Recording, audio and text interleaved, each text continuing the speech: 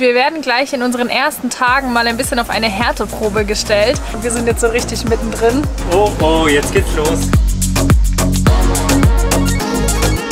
Wir sind jetzt seit zwei Tagen auf der Peloponnes, was so unser südlichstes Ziel von Griechenland ist und freuen uns total, diese Gegend hier zu erkunden.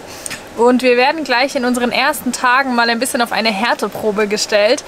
Denn es gibt gerade eine ziemliche Unwetter-Sturmwarnung, was teilweise wohl ganz schön heftig werden kann. Aber wir werden mal sehen, wie wir dieses Wochenende jetzt überstehen werden und wie stark der Sturm hier zu spüren sein wird. Wir stehen auf so einem Parkplatz direkt am Wasser und wir haben jetzt schon einige Leute kennengelernt, die genau vor einem Jahr auch hier standen und genau vor einem Jahr hat es hier auch ein ziemliches Unwetter gegeben und dabei ist das hier entstanden.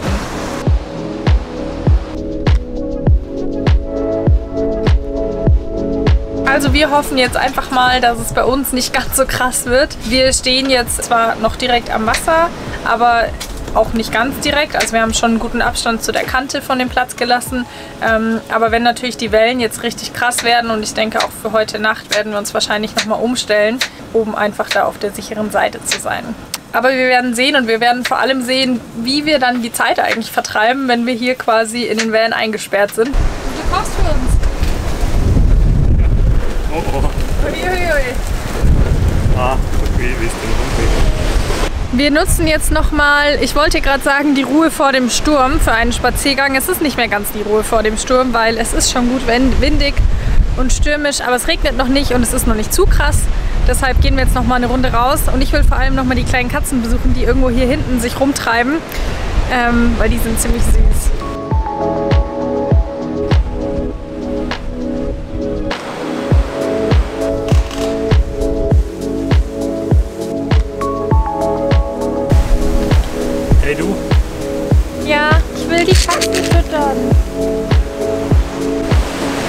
Das ist ja crazy hier, oder?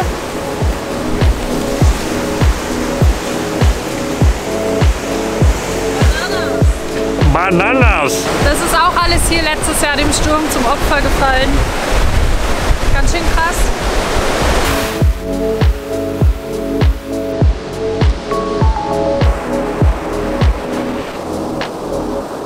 Also für mich schaut es hier noch nicht nach Sturm aus. Ich bin mal gespannt, ob da überhaupt was kommt.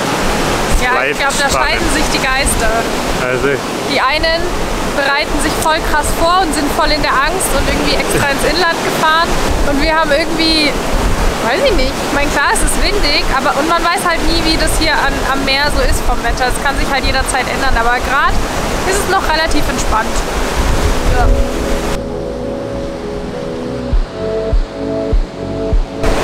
hier nimmt es jetzt gerade ein bisschen zu. Es bleibt spannend. Jetzt geht's los! Jetzt ist es da. Wir haben uns in den Van verkrümelt. Der Fabian wäre am liebsten, glaube draußen Ich wollte gerade sagen, Aber jetzt hat es schon angefangen zu regnen und es ist schon auch stürmisch und blitzt und jetzt hat es auch gerade richtig laut gedonnert und wir sind jetzt so richtig mittendrin. ich glaube, wir Dir könnte es nicht besser gefallen, oder?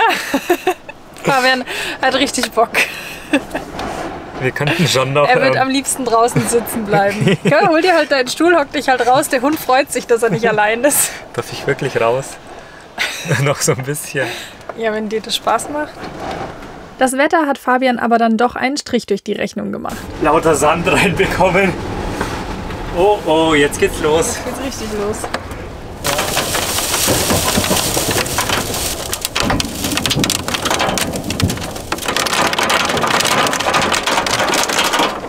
Ich hätte hier gerne so Scheibenwild machen. Miep, miep, miep, miep.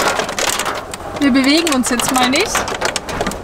Und dann seht ihr mal, wie doll das Auto wackelt an unserem Traumfänger. Wir bewegen uns gar nicht.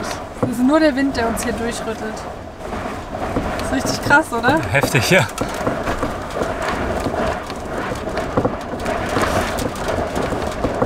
Ich glaube, er meint auch ernst. Ja, der meint richtig ernst. Ich habe immer noch meine Mütze an, weil es hier drin auch zu windig ist. Wir haben uns ja für den Max-Fan entschieden, unter anderem, weil man den auflassen kann, wenn es regnet und es nicht reinregnet. Guck mal. Hier.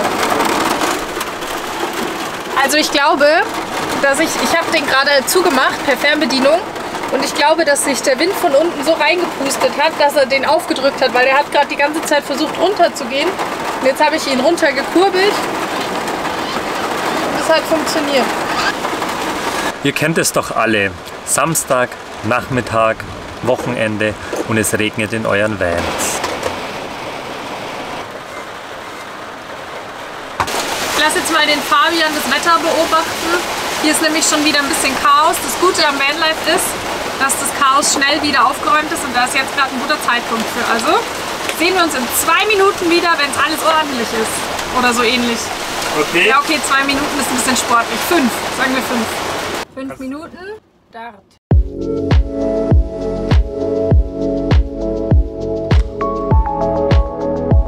Was ist jetzt? Jetzt ist mein Timer zu Ende. Ich bin schon ziemlich weit.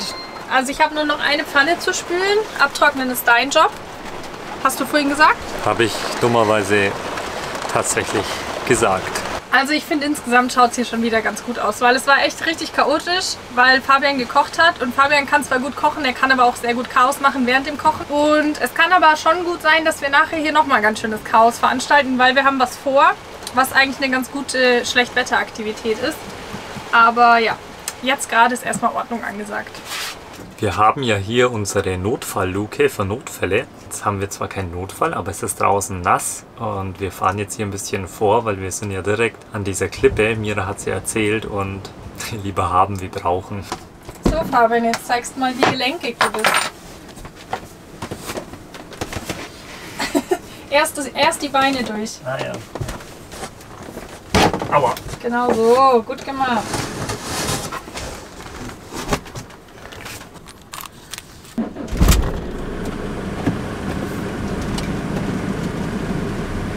Bisschen noch? Okay, gut. Ich habe jetzt mal unseren Omnia aus dem Schrank gekramt, denn bevor wir irgendein anderes Projekt starten, werde ich uns erstmal leckere Brownies backen, weil was gibt's geileres an einem verregneten Samstag als Brownies? Ich denke nichts.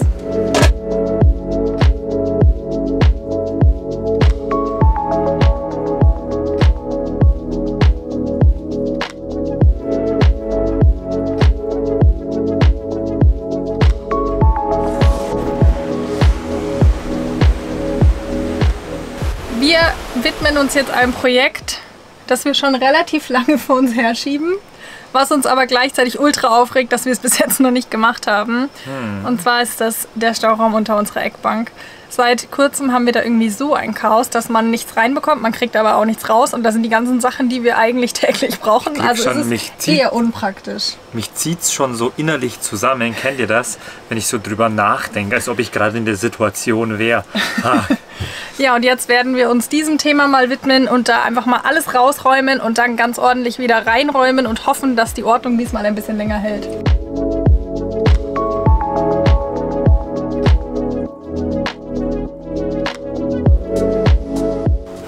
Eckbank zwei große Übeltäter, die dafür sorgen, dass da nichts mehr so ist, wie es mal war. Das eine ist diese Kiste mit 100.000 Kabeln und anderem Elektrozeugs.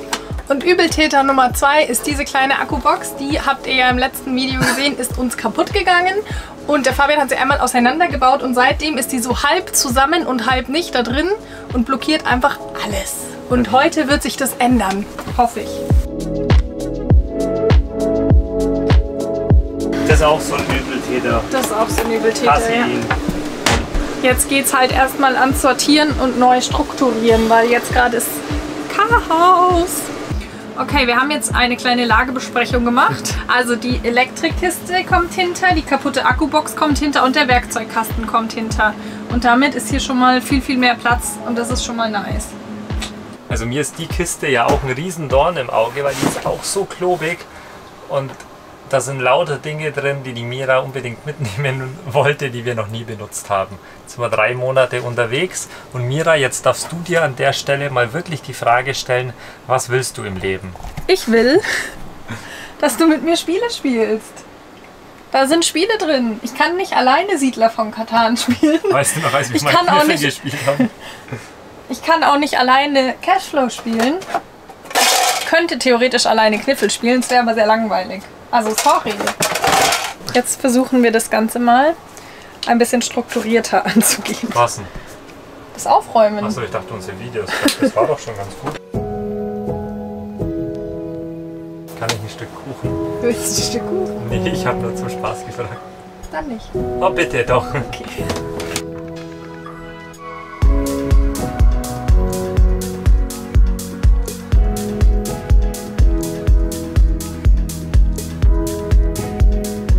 Der Van schaut jetzt wieder super aus. Vor allem schaut es unter unserer Eckbank wieder super aus und wir können arbeiten, ohne eine Krise zu kriegen, weil wir unsere Sachen nicht rausbekommen. Jetzt ist es mittlerweile dunkel. Das Gewitter ist eigentlich relativ entspannt, würde ich sagen. Also es regnet, es ist ein bisschen windig, aber nichts, was uns jetzt irgendwie Sorge bereiten würde. Mal schauen, wie es heute Nacht wird. Ich glaube, dafür ist so ein bisschen der höchste Punkt nochmal angesagt, dass es da nochmal krass werden könnte. Also mal schauen. Der Fabian richtet uns jetzt eine Brotzeit her und dann werden wir uns den restlichen Abend wahrscheinlich mit Netflix vertreiben, weil was soll man sonst an so einem Regentag noch machen am Abend?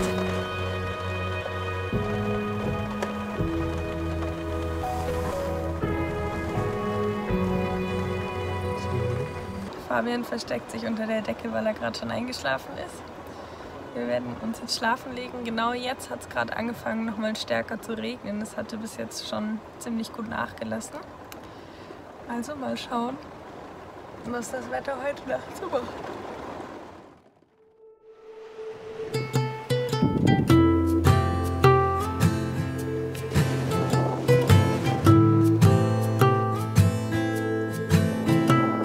Guten Morgen. Guten Morgen. Wir haben die Nacht gut überstanden. Für mich war sie so mittelerholsam. Der Fabian hat geschlafen wie immer.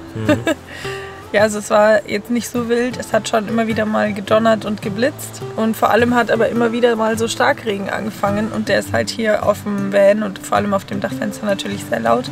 Und wenn man so einen leichten Schlaf hat wie ich, dann wacht man davon halt mal auf. Ja, und jetzt schauen wir mal, was der heutige Tag so bringt. Auf dem Regenradar und auch hier am Horizont schaut es schon so aus, als würde dann nochmal eine gescheite Wand auf uns zukommen. Wir werden sehen.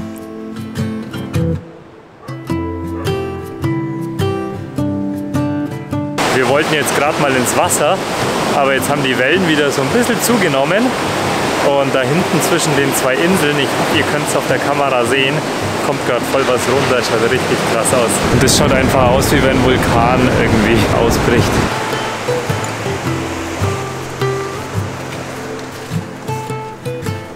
Hallo. Was machst du? Ich putze den Kühlschrank. Der ist nämlich sau eklig. Da ist, glaube irgendwas ausgelaufen. Und das muss weg. Danke, dass du das machst. Ja, bitte.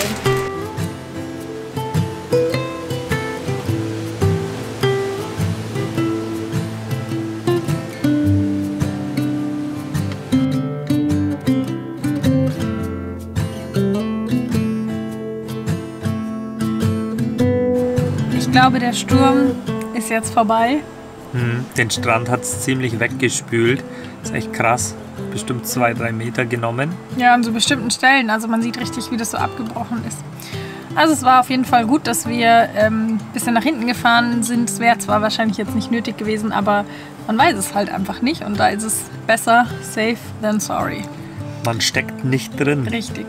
Das sturmbestimmte Wochenende nimmt damit jetzt ein Ende. Wir haben vor allem heute wirklich Piano gemacht und eigentlich nur im Bett gechillt, Netflix geguckt, bisschen aufgeräumt, bisschen mit den Nachbarn geplauscht, aber es war super relaxed und es war auf jeden Fall eine spannende Erfahrung hier. Ja, definitiv. Also so am Meer kann man auf jeden Fall mal mitnehmen. Dann sieht man die Naturgewalten nochmal ganz anders. Ja, das auf jeden Fall. Wir hoffen, ihr hattet Spaß mit diesem Video und wir freuen uns schon, euch nächste woche im nächsten Video wiederzusehen. Ja. Bis dahin. Bis dahin. Peace. Wir könnten mal wieder Monopoly spielen und uns danach hassen.